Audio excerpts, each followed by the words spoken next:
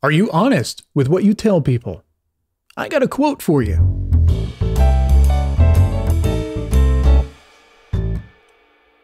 The words that you say directly affect those who hear them. But can they trust you?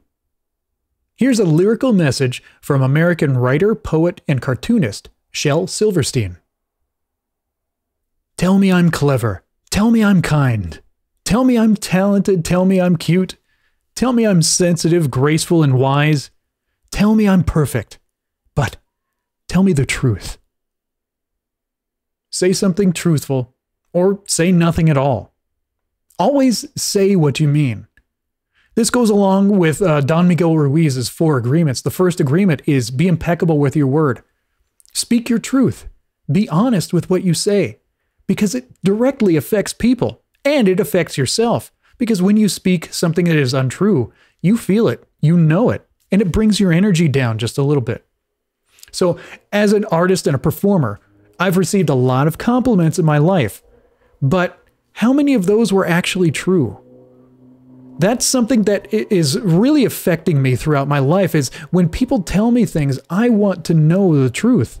Because if you lie to me about something that I've done, saying that I did a great job when actually I could have improved, well, I lost that opportunity for improvement. But if you told me the truth, I would know that I really did do something that could be a little bit better. It's an opportunity for me to learn. If you don't know the truth, then you can't improve. Yes, yeah, sometimes the truth can be a little bit difficult to hear or to say, but it is so much better because you are speaking it with love as an opportunity to help people be better and to help yourself be better. Like we said earlier this week, if you don't speak the truth to yourself, you know it and you feel it, and it hangs around with you constantly. And also, you're doing a disservice to the person that you are speaking with. Be honest with yourself, be honest with others. Speak the truth or say nothing at all. Give compliments with integrity. And love yourself. Do me a favor, please. Click the like button down below. And on YouTube, subscribe to my channel and hit the bell so that you get notified anytime I post a new video here.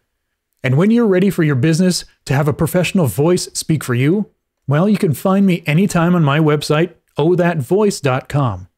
Thanks for stopping by my library today. Let's talk soon.